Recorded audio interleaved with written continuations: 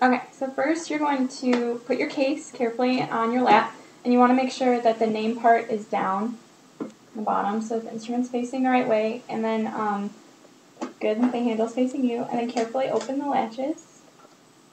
It should go up. There you go.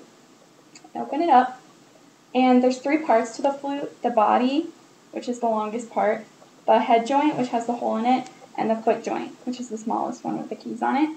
So you want to take the foot joint in your right hand, which is the smallest one, good, and you want to take it like this and put your thumb on this key, good. So, and then you want to take the body of the instrument and put it in your left hand.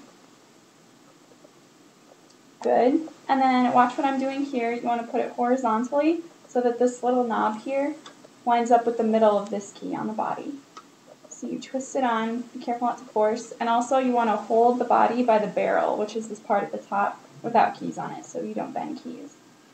So carefully twist it on. Good, and then line this up with the middle of this key. Good. Alright, now take this in your right hand, so by the barrel, and take the head joint in your left hand. You want to carefully twist that on, like I'm doing here horizontally a little bit of pressure.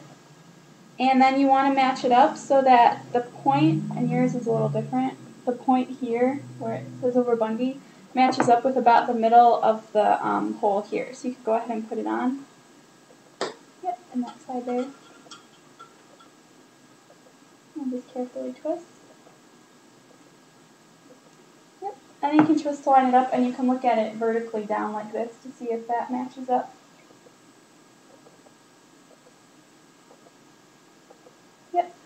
Good. Okay, and then you can go ahead and put your case down out of the way. Okay, so then for posture with our instrument, we want to think of a tripod. So you want your two legs and your behind on the seat being the tripod, and you want your back a little bit off of the back of the chair. Good. And then for finger placement, we're going to hold it starting vertically, just like you would a clarinet or an oboe. And your left hand goes on top, and your right hand goes on the bottom. Your left hand, the second key here if you look, your index finger goes there, and then you skip a key, and then your third, fourth, and your pinky will rest on that, that key up here. Good? Yep. And then um, your right hand will do the last three bigger ones. Oh, your index finger goes there. Yep. One, two, three and then it'll rest on that one with your pinky good. And you want your right hand to be curved like a C, so go ahead and show me like a C, like a big C. Good. And it'll be curved straight across like this. And your left hand will be slightly angled downward, the fingers. Where's this my thumb? Um, sorry, your left thumb goes on this key right here, it rests on that key. And then your right thumb should go kind of just underneath your the index finger of your right hand. Yeah, it'll feel a little better once we get it horizontal. Um, so your left hand angle downward, good. And so um, the base of your, the knuckle of your left should rest there, which is good. Okay, um, so now that we have our fingers in the right place, make sure that you have the balls of it. There you go. Yep.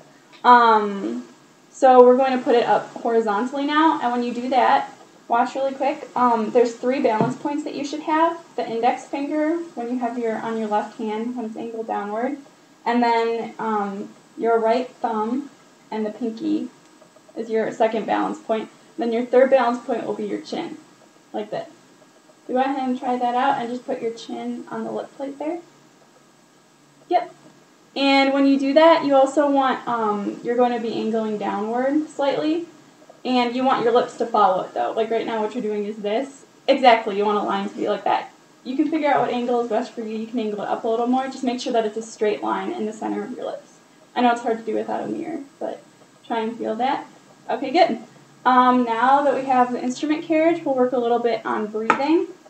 Um, so with breathing, we want to make sure that we're taking breaths from the sides of our mouth and um, that it's low pitched, kind of like you're fogging up a mirror there's a difference between and so you want that nice open cavity, almost like you're yawning or you're fogging up a mirror um, when it's cold out. And for embouchure, um, which is how you set your lips in order to play a note on the instrument, you want to say M pure. So go ahead and try saying that. M pure. And you want the little tiniest hole possible when you say pure. See how your lips kind of pucker out a little bit? M pure. Yeah. And um, so to try doing that, that's where you push the air through, that pure spot. But we do M to make sure that the lips are together. But you want your lips away from your teeth. You don't want them clenched like really hard against your teeth. So just think of a relaxed M, not a really tense one. Um, so to practice doing that, what you're going to do is hold your hand, your palm in front of your face. Carefully put your instrument down. And um, say M pure, and then blow right into the middle of your hand. So like this. So go ahead and try doing that. M pure. Yeah, let me feel how you're breathing. So go ahead and blow on my hand. M. Yeah, that's good, but try putting your hand in front of my face. I feel like your air is going a little too much like this, so let me show you on your hand. See how it's a little pinpoint? Try it again. Good, that looks better, what you're doing.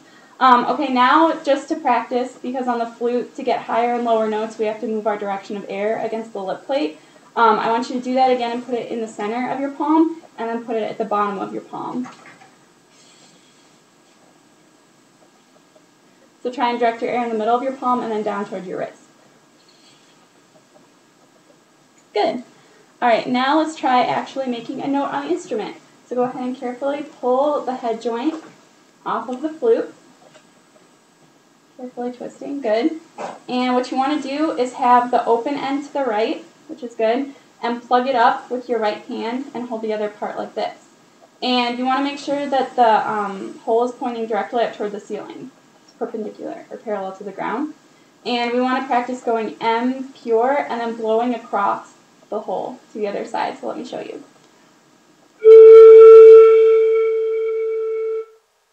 Go ahead and try. Good. Make sure that your lip, you should feel, good. You should feel that the bottom of your lip, you can feel the edge of the hole closest to you with the bottom of your lip. And go ahead and line it up. Good. Try moving it a little more this way and angle your head just a little bit.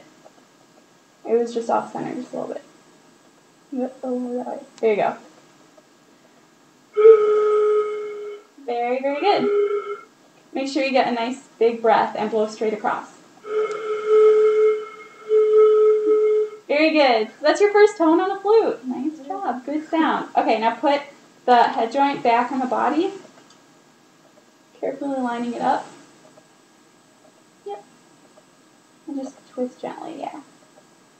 And then to make sure it lines up, you can hold it like this again, with this closest to you, and check down and see if the hole lines up with that. Sometimes it's hard to tell. Good. Alright, now remember our finger placement. It goes on the second with the left. There you go, good. Remember they're angled downward so that you feel it in the knuckle of that. And then one, two, three, and pinky. Good. So we're going to call where we are right now. One, two, three, four, five, six. So one, two, three starts with your left hand. And we're going to try playing a G. So what you do to play a G is you have one, two, three down. You have your thumb on this bigger key, the one to your right. Yep. And then your pinky on your right hand. This one right here. There you go.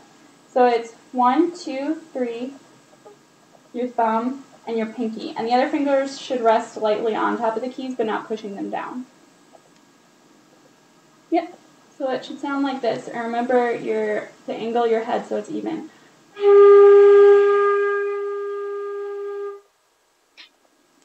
So let's try playing a G, just with the exact same air that you used just to make a sound on the head joint. Now adding your keys.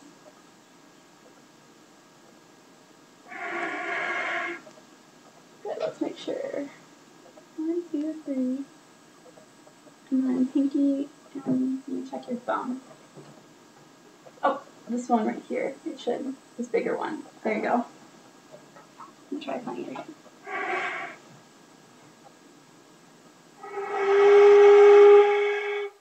Try pushing this out a little bit. Angle. There you go.